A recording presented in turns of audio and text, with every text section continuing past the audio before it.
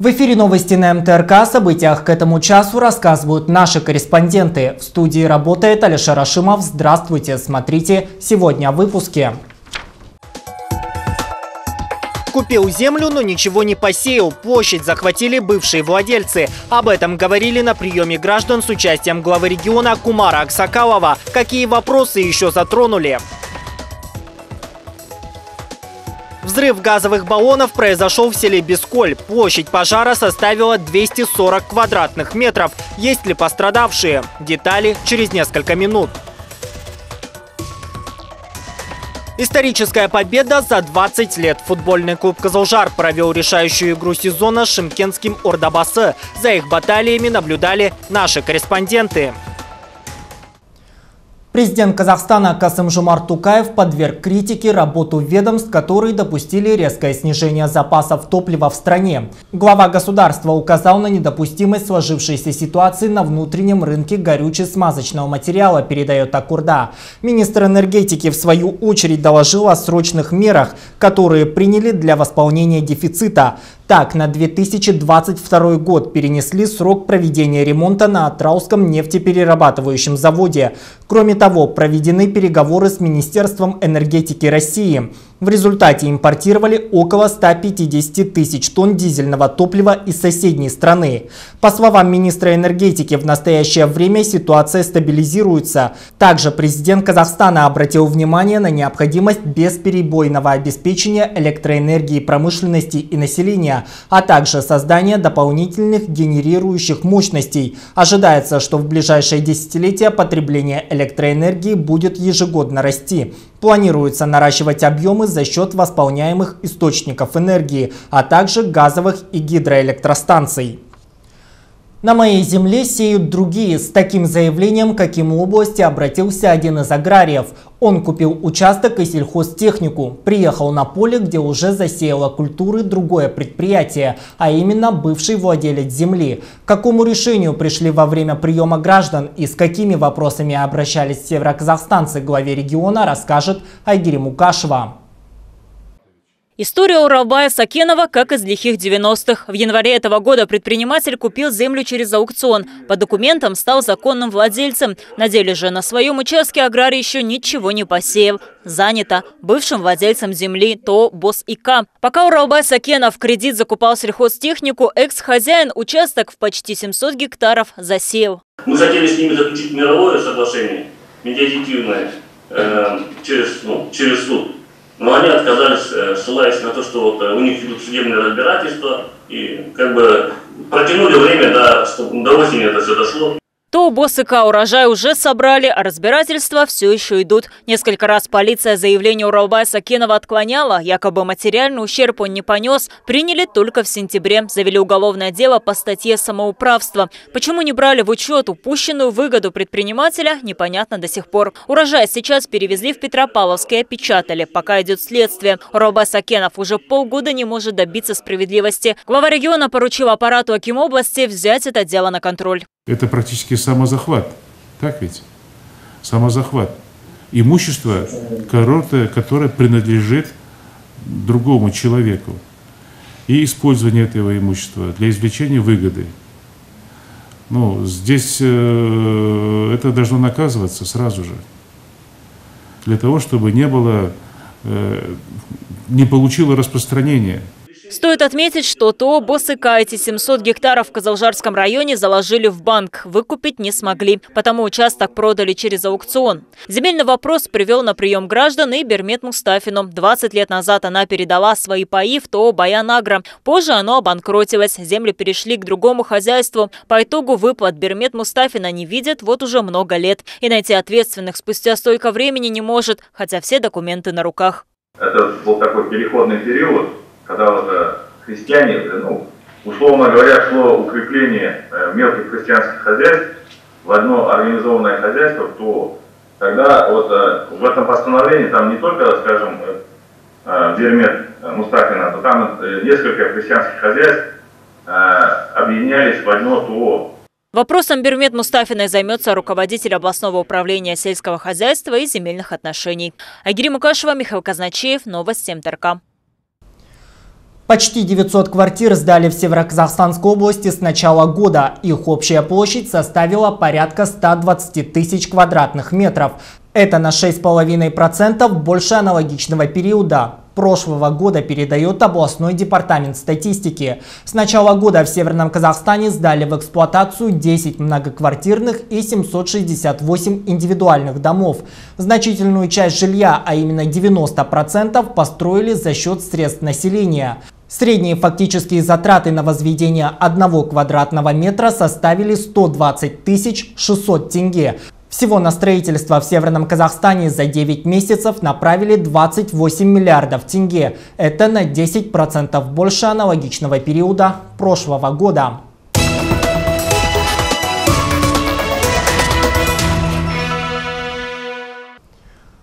Субботу в области выпал первый снег. На дорогах появилась наледь. По этой причине за два дня в регионе произошло пять серьезных ДТП, в которых три человека пострадали и один погиб. Подробнее о снежных выходных в материале областного департамента полиции. Авария произошла воскресным днем. За Новокаменкой водитель автомобиля марки Audi не справился с управлением. Иномарка вылетела с трассы и опрокинулась. В результате погибла женщина. Как оказалось, травмы, несовместимые с жизнью, получила 57-летняя учительница из села Архангельского. Остальные трое пассажиров получили ранения, их доставили в больницу. Около 15.00 часов на автодороге республиканского значения Жесказган-Петропавловск э, на 935 километре, это между селами Бишкуль и Новокаменка произошло ДТП, водитель автомашины Audi не справился с рулевым управлением и совершил опрокидывание. Э, по данному ТДП назначен э, ряд экспертиз, проводится досудебное расследование. Однако это не единственная авария за прошлые выходные. В областном центре на канал 102 поступило 4 вызова по фактам ДТП. Полицейские призывают водителей и пешеходов быть бдительнее на дорогах, ведь в межсезонье риск стать участником дорожно-транспортного происшествия значительно возрастает. В связи с наступлением погодными условиями, гололедицей, Э, свои транспортные средства необходимо подготовить, переобуть, э, перекомплектовать зимние шины. Вот. Без необходимости не выезжать. Вот сейчас погодные условия такие, гололед первый, как бы нужно привыкнуть к зимним условиям э, езды на дорогах. Вот. Ну и также у нас начались каникулы, родителям обратиться хотелось бы тоже. Каникулы начались, необходимо посмотреть за детьми тоже, без присмотра не оставлять, объяснять детям, чтобы не играли вблизи проезжей части. Вот при переходе улиц убеждали, что действительно транспортное средство останавливается, действительно оно их пропускает. Всего за 10 месяцев на дорогах области зарегистрировано 151 ДТП, в результате которых погибли 28 человек, 206 получили ранения. Гюзель Закария при содействии пресс-службы областного департамента полиции. Между тем, чтобы не допустить происшествия на дороге, городские автомастерские работают в экстренном режиме. Механики трудятся круглые сутки, переобувают по 100 машин в день. Разузнала обстановку в одной из таких наш корреспондент Гюзель Закария. Целая колонна машин выстроилась перед автомастерской. Водители ждут своей очереди. А все для того, чтобы переобуть своих железных коней. Виталий Романихин записался заранее, но даже так мужчина простоит в очереди больше часа. Впереди еще три машины. А почему раньше не меняли? Был в командировке. Я всегда только в одной, вот уже много лет. Ага. Тут специалисты хорошие, поэтому я с ними созваниваюсь, они мне говорят, когда, во сколько, что подъехать. Без записи автомобилисты простаивают в ожидании по три часа, хотя могли переобуться в течение 30 минут еще на прошлой неделе. Тянут резину водители не по своей воле, все упирается в финансы, по их словам. Минимальная цена только одной шины составляет более 14 тысяч тенге. Еще несколько тысяч нужно доплатить мастеру. Вот каждый год вы всегда впритык меняете или бывает Нет, бывает и раньше, да, заблаговременно меняем резину, что это по возможности, чтобы это уже не создавать такой ажиотаж на монтажках. Раньше бывает меняем, да. Я поменял шины, как снег выпал. Вчера приехал на шиномонтаж в 9 часов вечера. Закончили только к 4 часам утра. Итак, с выходных мастерам приходится работать круглые сутки, не покладая рук. При этом, отмечают, количество автомобилей не уменьшается, а наоборот. Каждый день мы перебываем по 80, по 90, по 70 машин. То есть со вчерашнего дня, если считать, то на сегодняшний момент мы уже перебыли в районе 110 машин. Поэтому, дорогие водители, у всех есть у нас э, интернет, телефоны под боком, гаджеты хорошие. Надо, наверное, все-таки заблаговременно перебываться. чтобы не создавать этот ажиотаж. Между тем, сменить резину на зимнюю стоит североказахстанским автолюбителям до 1 декабря. Нарушителям грозит штраф 5 МРП, это 14,5 тысяч тенге. При повторном нарушении сумма увеличится в 4 раза. Гюзель Закарья, Михаил Казначеев, Новости МТРК. Два газовых баллона взорвались при пожаре в жилом доме в Бесколе в понедельник утром. В Петропавловске накануне горел коттедж по улице Алозова. В обоих случаях, к счастью, обошлось без жертв.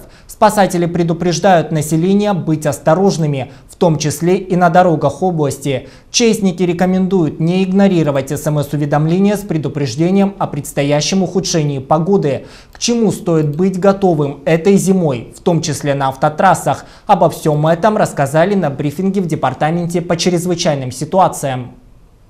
С начала отопительного периода частники провели 26 тысяч подворовых обходов жилых домов. 64 тысячи человек получили специальные памятки. Но цифры пожарной статистики все равно продолжают расти. В воскресенье в Петропавловске огнеборцы ликвидировали возгорание по адресу Ауэзова 82. Было установлено, что кровля двухэтажного жилого дома была охвачена полностью пламенем, а также веранда э, была также подверглась воздействию огня. Площадь пожара составила 96 квадратных метров. Э, предварительной причиной послужило нарушение правил пожарной безопасности при эксплуатации отопительной печи. Тревожным было утро понедельника и у жителей села Бесколь. Звонок спасателям поступил в 10 часу по улицу Лесная, 7А. Надворные постройки, временные сооружения, э, баня и гараж были полностью охвачены пламенем. Кроме того, до прибытия пожарных подразделений произошел взрыв двух газовых баллонов. Площадь пожара предварительно составила 240 квадратных метров. Э, причина пожара на сегодняшний день на данный момент устанавливается. Быть осторожным с огнем не единственное, к чему призывают население и спасатели. По прогнозам Казгидромета, в этом месяце ожидается снег с порывистым ветром, гололед и туман. Поэтому быть особенно внимательными к предупреждениям частников призывают водителей. На территории области на учет взято 396 снегозаносимых участков. Прошлой зимой на них зарегистрировали 198 ЧС. Вызволили из снежного плена 850 единиц техники и более 2000 человек. Хотелось бы обратиться к жителям Северо-Казахстанской области, а также гостям, не пренебрегать смс-сообщением, штормовых предупреждений об ограничении движения на автодорогах области. Зачастую выезжают на автодороги области неподготовленными, что приводит в свою очередь к остановке, к аварийным остановкам. Игнорируя данные сообщения об ограничении движения у нас происходит на территории области скопление техники. К новому сезону созданы поисково-спасательные группы. Подготовлено порядка 300 пунктов обогрева, более 1100 единиц техники. Анастасия Кузнецова, Михаил Казначеев, Новости МТРК. 7 миллиардов прививок от коронавируса поставили по всему миру. Больше половины приходится на три страны – Китай, Индию и США. В Объединенных Арабских Эмиратах и на Мальте вакцину от COVID-19 получили 90% населения. В Португалии, Исландии, Сингапуре, Южной Корее, на Кубе и Чили как минимум один компонент поставили 80% жителей. При этом темпы прививочной кампании снижаются во всем мире, в том числе и в Казахстане. Первую дозу вакцины получили 8 миллионов 300 тысяч жителей нашей страны. 7,5 миллионов из них прошли полный курс иммунизации. В Северо-Казахстанской области в день прививку ставят от 300 до 500 человек. Всего оба компонента вакцины получили 234 тысячи североказахстанцев. Что касается новых случаев, за день положительный результат теста на коронавирус получили 143 жителя Североказахстанской области. Это один из самых высоких показателей по стране. Всего за сутки в республике выявили 1395 заболевших. К сожалению, не все смогли побороть вирус. От COVID-19 за сутки скончались 18 казахстанцев. Всего с начала пандемии коронавирус унес унес жизни 12 144 человек.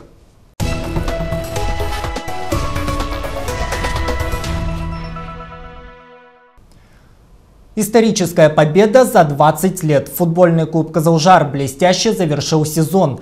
30 октября североказахстанцы на своем поле приняли шимкенский Ордабасы и за считанные секунды до конца матча вырвали у них победу. Тем самым казалжарцы заняли четвертое место в турнирной таблице премьер-лиги. С победой и окончанием сезона футболистов поздравил Аким области Кумар Аксакалов. Смотрим сюжет.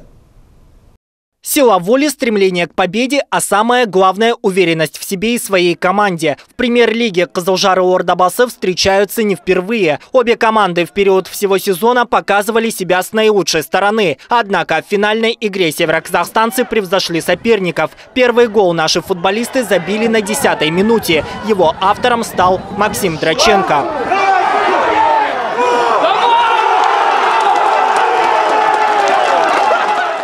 Этот матч является решающим для обеих команд, ведь победитель займет четвертое место в турнирной таблице премьер-лиги. А это значит, что в следующем году сборная встретится с европейскими командами в Лиге конференции. Пока Урдабаса опережает Козылжар на два очка. Сегодня победа нужна не только нашим футболистам, но и их болельщикам. Прилетел с Алматы, чтобы поддержать наши. Игра зрелищная. Думаю, что Козылжар сегодня выиграет. Нам нужна победа. За своих болеем, конечно. Не за Чемкент. Я ожидаю победу. То, что будет, ну, 3-0, думаю, будет. Первый гол хорошо забили. Бірінші тайм өте керемет. Всем рахмет за поддержку. Бәріне алғыс үлкен. Алға Қызылжар! Алға Қызылжар! Второй тайм не успел начаться, как козылжарцы забили второй гол. На 46-й минуте мяч в ворота соперников забил Карлос Фонсека. Борьба на поле обостряется с каждой минутой. Зрители с нетерпением ждут завершения игры в надежде, что наши футболисты сохранят счет. Однако шимкенцы активизировались за 16 минут до конца игры. На 74-й минуте встречи соперники забили свой первый гол, а сравняли счет на 89-й.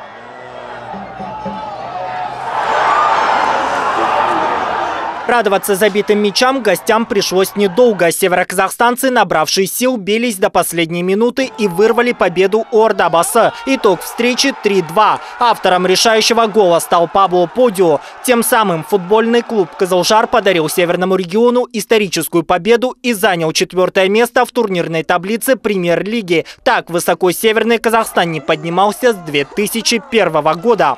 Победа! Победа! Поздравляем вас!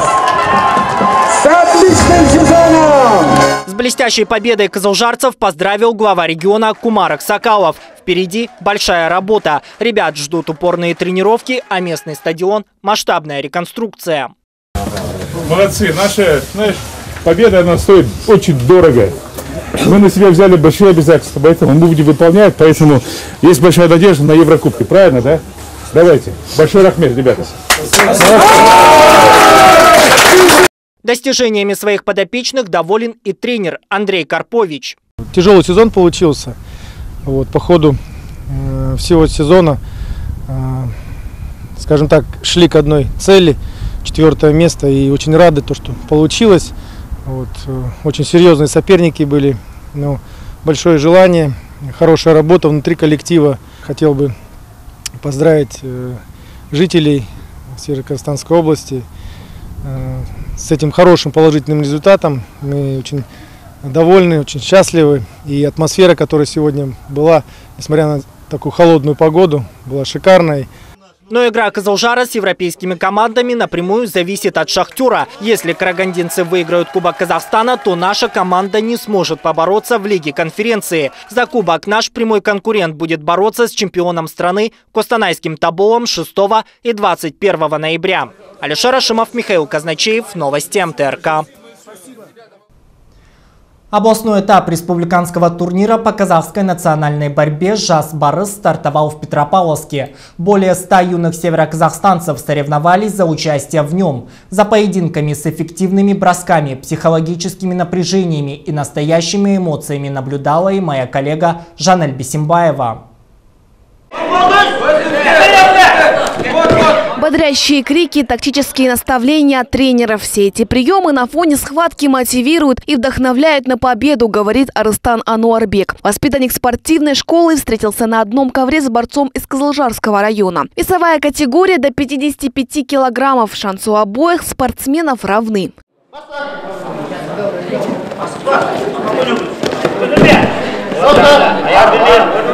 Нелегкая схватка для парней завершилась в середине поединка. Превзошел соперника, уложив его на спину 15-летний Арыстан. Я занимаюсь борьбой около четырех лет. Готовился к соревнованиям целенаправленно, так как уровень здесь высокий. На кону билет на республиканский турнир. Эта схватка была тяжелой. Оба были достойны победы. Наверное, поэтому наша борьба длилась практически две минуты. Очередь за борцами тяжелого веса. В категории свыше 75 килограммов участвуют всего 4 спортсмена. Первыми на ковер вышли Азизбек Алимбеков и Адиль Сайран. Представили парни городскую спортивную школу и Козлжарский район.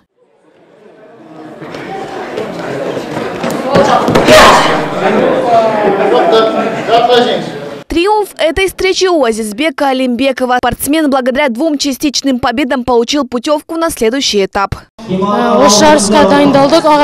Мы долго готовились к этому соревнованию со своим тренером. Упорные тренировки дали свои плоды. Все было так, как я задумал. Были, конечно, трудности, но все же справился. Настроен только на победу. Областной этап турнира «Жаз Борис» собрал более 100 североказахстанских борцов. Все они соревнуются за место в республиканском соревновании. Пройдет оно в Костанае уже через месяц. Жанель Бесинбаева, Алдия Райтпаев, Казбек Арыкбаев. Новости МТРК.